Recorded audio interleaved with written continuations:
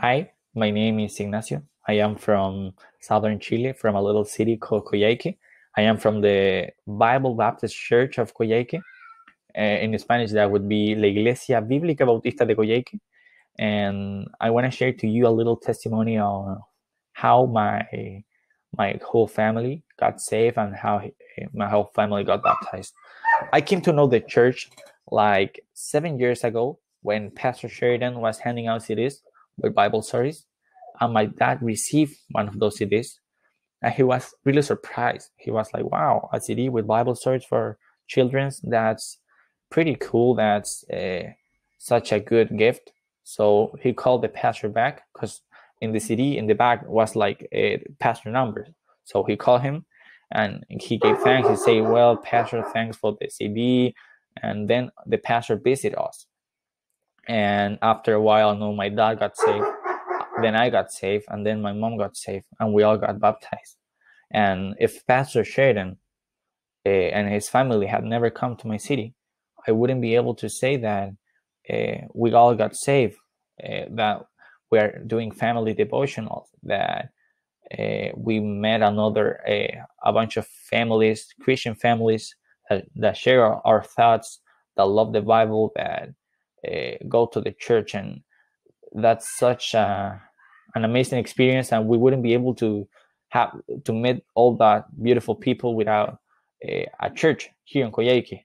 I wouldn't be able to say that I discover the music and I love music and uh, I love to uh, play instruments and sing for the Lord.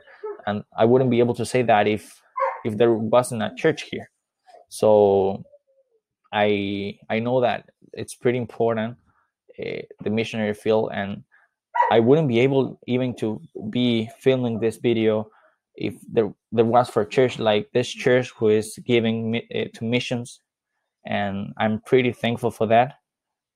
And it's I know it's really difficult to or for a person to give to missions and don't see the result because you're giving money and you, you want to know what's happening are they using my money? Are they uh, preaching the gospel? Are they uh, helping people in the name of the lord? And i want to say that yeah uh, my whole family got baptized and jesus changed our lives.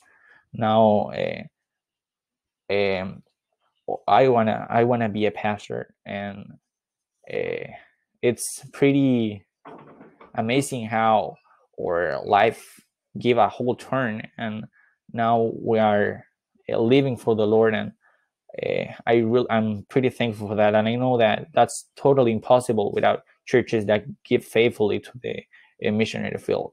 So i'm very thankful for for the church here in Coyhaique and for from the for the church here there i mean on united states.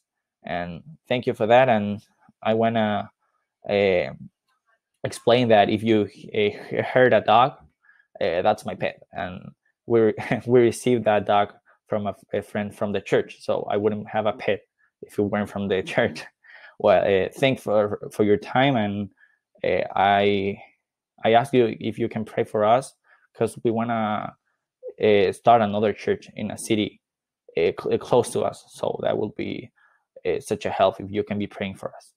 Thank you. Goodbye.